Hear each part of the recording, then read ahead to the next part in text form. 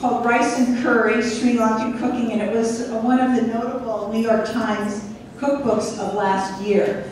Um, and Skiz, wherever he is, is going to tell us a little bit about Sri Lankan cooking. Thank you, Joan. Uh, welcome, everyone. Thanks for joining us here this morning.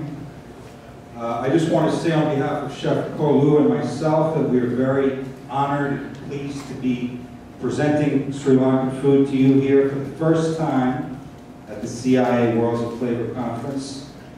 And I'd like to thank, I, I just want to personally thank Anne McBride and Mark Furstenberg for bringing me out here. And I need to also thank the Embassy of Sri Lanka and the Sri Lanka Travel Board for sponsoring the chef's uh, travel here. Um, as, as Joan said, I, wrote, I recently published a book on Sri Lankan cuisine called Rice and Curry Sri Lankan Home Cooking. And um, I believe that Sri Lankan food is really one of the last undiscovered cuisines of Asia. For, for the last 27 years, the country has been kind of closed off to tourism. Not many people have gone there, so not many people know about the people or the culture of the food. All that changed in, in May 2009 when uh, you know, we defeated this notorious terrorist group. And now the island is, since that time, the island has opened up. People are streaming in from all over the world to experience the people, the culture, and the cuisine of Sri Lanka. And you know, it's very close to my heart because I grew up with this cuisine, and that's that's why I decided to actually go back there for a year and really study the food, learn how to make all the dishes that uh, I grew up with. And one of the one of the things that people always want to ask me is, what is the difference between Indian food and Sri Lankan food? So I'll break it down for you very simply here. First of all, I don't, I don't, I don't really believe that there's such a thing as Indian food because India is a huge country. There's so many diverse regional foods, but uh, one of the things, one of we, and we use the same spices as the Indians do. But one of the things that is different is in a lot of Indian cuisines, they tend to, to fry the spices whole in oil. And in Sri Lanka, what we do is we take the whole spices and we, we roast them to release the essential oils, and then we grind them all together into a powder or paste. Sri Lankan roasted curry powder is one of the most unique spice blends you will ever find. I've traveled all over the world, all over Asia. I've never quite found anything like it. It's a combination of coriander, cumin, fennel, clove, cardamom, black pepper, fenugreek, black mustard seeds, uh, pandanus leaf, fresh curry leaf, and we throw a little raw rice in there for texture. All of this is roasted and ground together, and uh, the result is a, is a very kind of darkish powder, which we use for the meat and fish curries. For vegetable curries, we use a curry powder, which is just coriander, cumin, and fennel. We, we, were, we were a little puzzled, the chef and I were a little puzzled when we were asked to uh, present at this one pot seminar, because to be quite frank, there are no one pot dishes in Sri Lanka that originate in Sri Lanka. But what we do make is a wicked biryani. And as you know, biryani is a dish that's known throughout the Middle East, all the way through India, so many different variations. And um, we're, we're going to make the Sri Lankan version today. Just, just to give you a background about the dish itself, biryani, for those who don't know, is a, is a, is a combination of rice, meat, and vegetables which are cooked together. And as I said, there's so many different variations of it. The dish can be traced back to the Mughals, uh, which was a Muslim dynasty that ruled the Indian subcontinent from early 16th to around the early 18th century.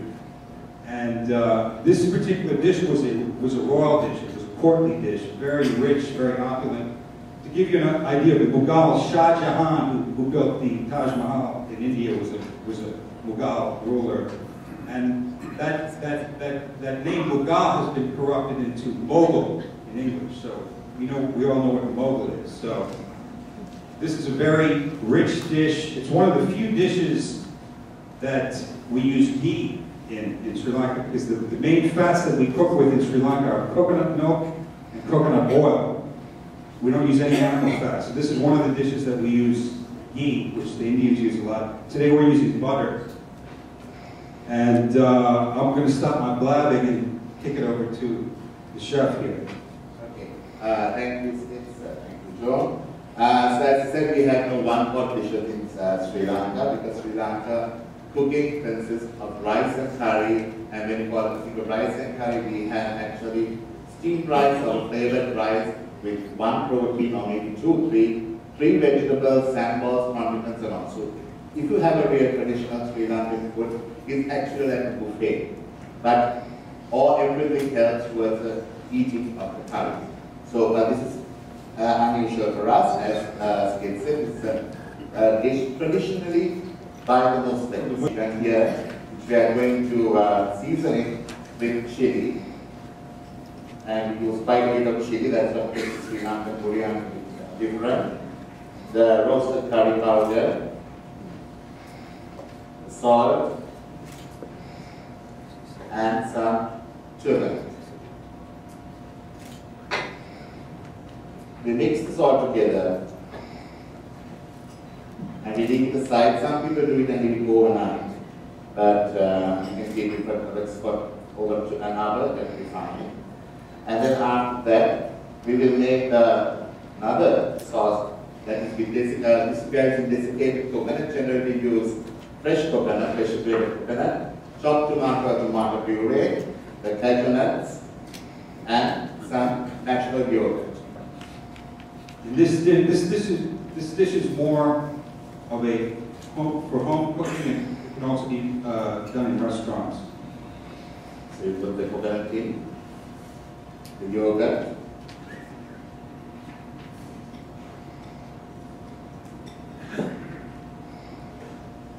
We're using the, the Greek yogurt, which is more like the yogurt that, that they use in India.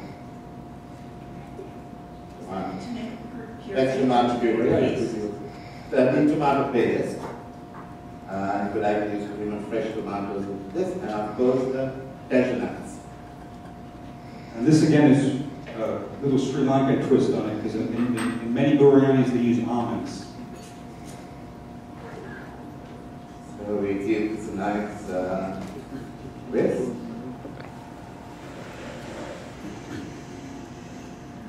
And also I should mention that Koluu has, has worked in Portugal, Iraq, Thailand.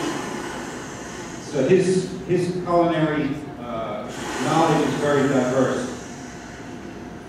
Sorry, my knowledge with this. Blender is not as good. But I try the Craig of Chris to come up here help me uh, out with this. To get that blender. Uh, we have something about uh, curry, rice and curry in Sri Lanka. Uh, Sri Lankan curries are very spicy. And one thing which you find, which is quite romanticized the fact that this curry is not chili hot, but it is chili hot. I remember one of my uh, travels, I was in London, and I went to an academy where they were going to make Sri Lankan chicken curry. And I was quite horrified because they put apples into it, they put raisins into it, they put all kinds of things, and no chili. So the next I said, this is not Sri Lankan curry, because Sri Lankan curry is very, very spicy and hot. So they said, not talking so much about it, come the next day and teach the class how to make a Sri Lankan chicken curry. So I took all my spices with me, and I went to school, and I made a real chili hot red chicken curry in school. Needless to say that once students had lunch, they shut the school down because they had never eaten such a hot dish in their life. So the curry close to the heart. That's why. It's got to be one of the spiciest cuisines in the world. The only other hotter food I've had is in Mexico. They use a lot of habaneros. So. So we will, uh, And this is, uh, this is a dish that takes a long time to make. We're really compressing it for this presentation. But usually, it's when it's made for a, a wedding, a Muslim wedding, it's made in these huge pots, and they they cook the, the chicken and the meat together. The chicken is raw when they cook it. In this particular version, we're, we're going to pre-cook the chicken pre-cook the rice a little bit, and then combine them together at the end.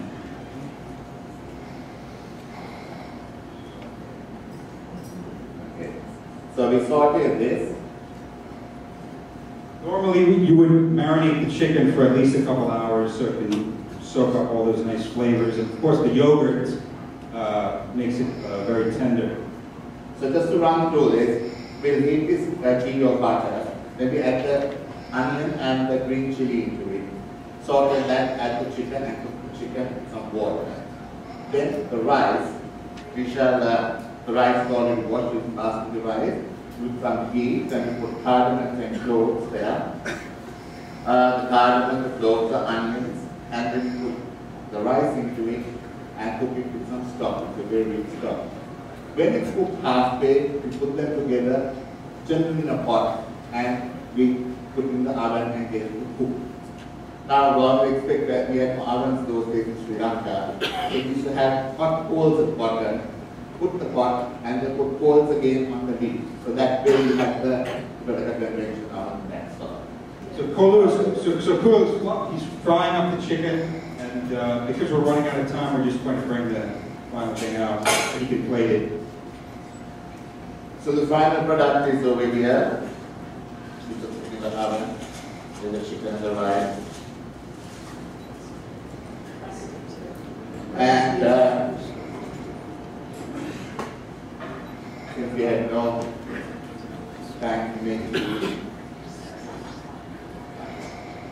we should then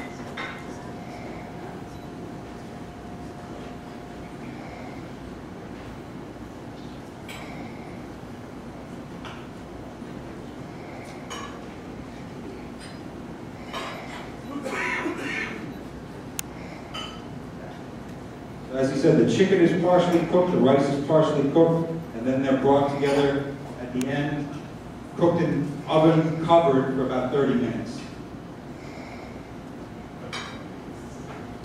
And these you And then he's going to garnish it over here with some fried curry leaves, some fried red chilies, and some caramelized onions. Beautiful. And also you can use some uh, fresh coriander leaves. Well, thank you very much. Thank you.